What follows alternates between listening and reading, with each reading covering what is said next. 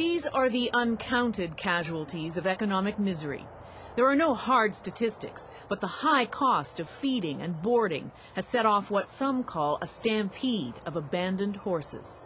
They can't afford them anymore, can't afford to feed them.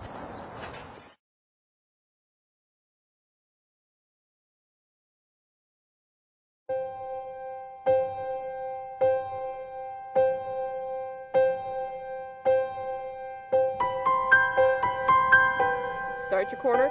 Don't even ride to that gate. Just ride right back to the, to the runner. Keep going, keep going. Harry Reid, who trains and boards horses, woke up one morning to find two extra horses in her paddock, just left there.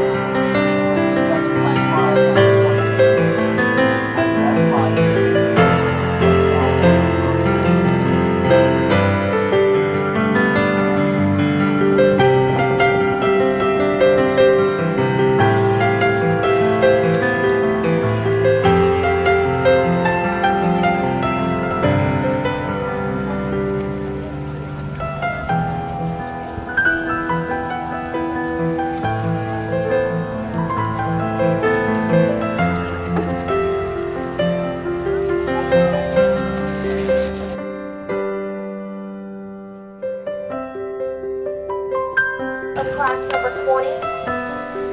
In first place, number 741. Yay!